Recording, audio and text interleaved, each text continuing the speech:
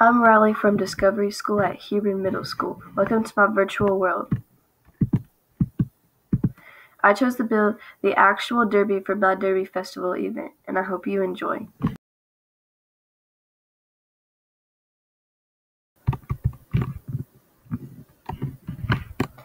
If we look over here, you can see the bleachers in my virtual Churchill Downs.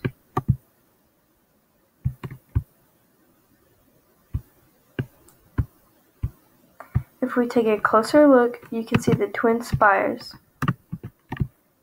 The actual twin spires in the real Churchill Downs were built by a man named Joseph Baldez a few years after Churchill Downs was opened.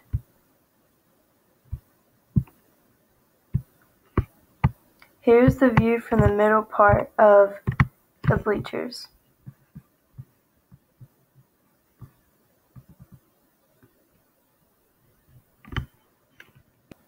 Here is what the real Churchill Downs bleachers looks like. You can see the twin spires as well as the bleachers.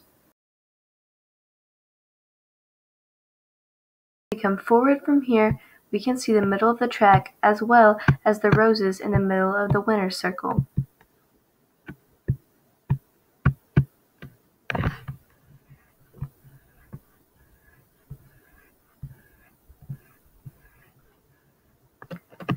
Can even see the man who plays the bugle at the beginning of each derby.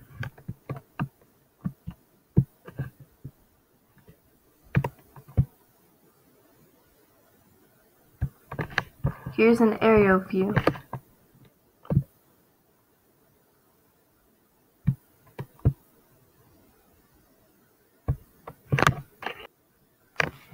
Here is the real guy who plays the bugle at the Kentucky Derby. His name is Steve Buttleman.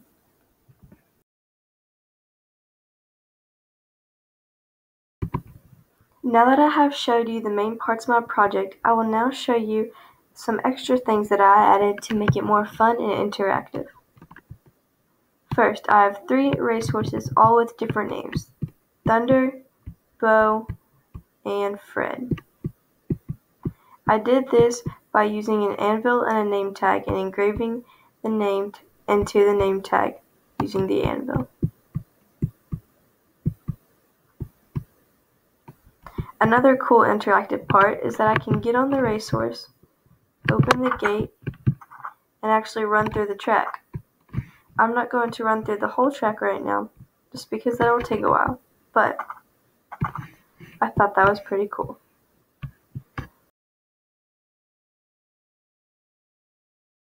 Interactive thing that I made was these cheerful derby visitors. They each have their own special derby hat on. I made this by using redstone torches, redstone and redstone lamps, armor stand, and leather armor. I dyed the leather armor to make each of their outfits unique. I used the armor stand to put the leather armor on, the redstone torches and the redstone make them dance.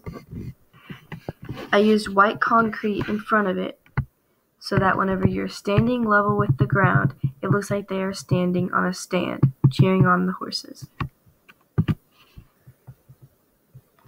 That's it for my virtual derby event project. Thank you for listening.